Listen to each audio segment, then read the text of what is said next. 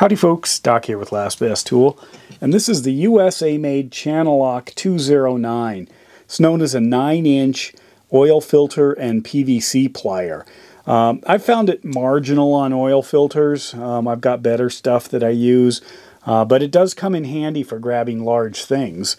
Um, and that's where the PVC side comes in. I was just using it yesterday on a project where I had to replace the drain in a um, utility sink and uh, there was a big screw-on coupler, but almost no clearance.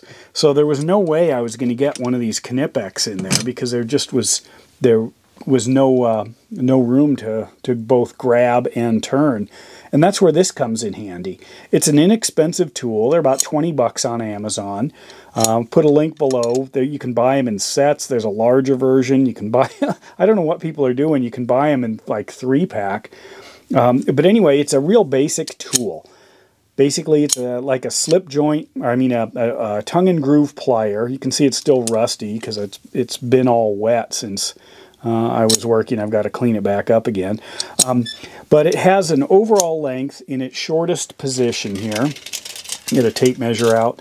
So we're looking at around, as you can see, just a hair under 9 inches maybe uh, about 9 inches in its closed position with a jaw, uh, let's say inside of, I don't know, around 2 inches maybe at its smallest. And then if I open this up, slide that down and close it back down again, you can see I've got a jaw in here that's pushing 3 inches um, edge to edge. In a plier, again, that is, in this case, with it, it extended the longest part now, makes it about nine and a half inches. So let's compare that to a couple of things.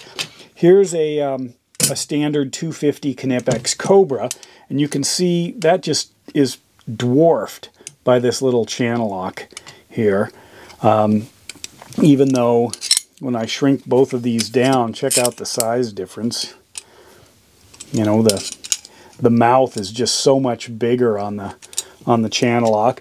But in order to get up to any real large size, so like here's a 300 uh, Cobra, and in it both in their largest, put it this way, largest setting. You can see Channellock's still bigger. Um, here is the 300 pipe wrench, 300 millimeter pipe wrench.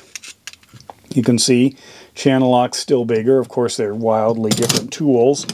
Uh, we can jump up. Here is the 400 uh, millimeter in the Knipex Cobra. That's when we finally exceed it. Um, right here, but you can see it's still almost a run for the money, you know, for PVC, plumbing, things like that. Uh, this has a bit of a size, you know, or jaw advantage, but look at the size difference here. Look at this thing. So that's where this thing really comes in. That's where the, the, the Channellock really comes in handy. It's a simple, lightweight tool. Look at that. Right at this position, you've got a nice, clean hemisphere um, for good, solid grabbing. If I open it all the way up, you know, the hemisphere is about right there. So you can see it's pretty good sized. And then if I go all the way, here's the 400 in the pliers wrench. So you can see uh, if I was trying to grab, uh, say, the hex fittings on PVC or the metal couplers for drains, things like that. Um, you know, it's, it's in the ballpark. It's a little bit smaller, but look at this thing. Plus it's 20 bucks, 19 and change actually. USA made, simple design, uh, a little sensitive to water. I'm going to clean it up and put it back. Um, I'm, I'm going to try these out. These are the Snap-on Formula 920 steel wipes. They are uh, basically to you know keep your tools in tip-top shape. I'll be doing a uh, be doing a video on those.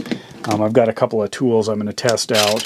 I went out in the garage and dug up my you know Mac pliers here that probably could use a little cleaning. There's a lot of stuff I've got around here that I don't really do much with, but it's fun to pull out. And this was actually one of them too. This the Channellock 209s. A great little design, simple USA made plier, and definitely handy when you need a large mouth and short handles. And with that, Doc out.